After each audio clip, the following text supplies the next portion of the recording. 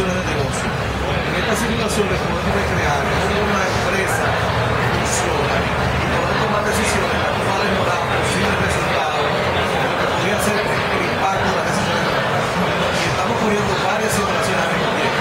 En esa parte de la simulación de toma de decisiones de mercadeo, aquí tenemos una pizzería, la cual está simulando